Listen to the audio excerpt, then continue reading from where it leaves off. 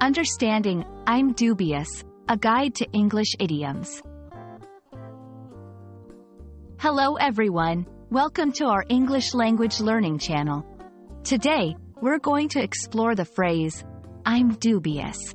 It's a common expression in English, and understanding it can really help you in everyday conversations.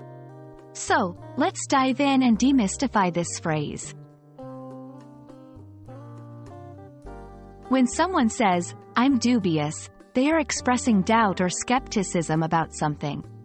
It's a way of saying they're not convinced or are uncertain about the truth or reliability of a situation, statement, or idea.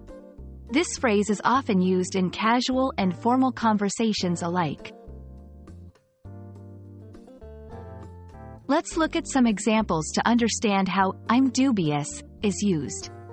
Example 1 if someone tells you a surprising fact, and you're not sure if it's true, you might respond with, I'm dubious about that. Example 2.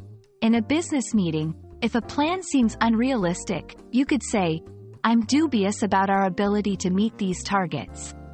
These examples show how I'm dubious can be applied in different contexts to express doubt.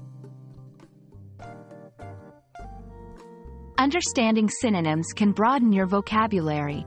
Here are some. Skeptical, uncertain, doubtful. You can use these interchangeably with I'm dubious, depending on the context. To effectively use I'm dubious in your speech. 1. Identify the situation. Use it when you feel uncertain or skeptical. 2. Consider the tone, it's a neutral phrase but can be perceived as negative in sensitive situations. 3. Practice. Try using it in different scenarios to get comfortable. That's all about I'm dubious.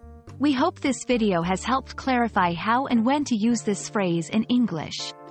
Keep practicing, and you'll soon be using it like a native speaker. Thanks for watching, and see you in our next video.